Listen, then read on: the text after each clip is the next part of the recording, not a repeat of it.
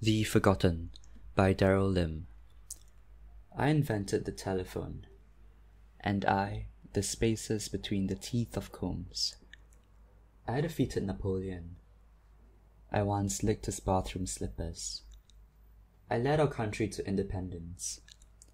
I thought the carpeting in the hall exquisite. I shot JFK. I called the crows over Orchard Road. I wrote a collection of experimental poetry. Free Sex Call Me, I once wrote, but it was erased soon after. I first made chili crab and sold it from a pushcart. I sometimes eat peanut butter from a jar. I designed St. Paul's Cathedral. And I, the local temple. I had sex with the president. I died a virgin. I did something stupid. Yes, actually, so did I.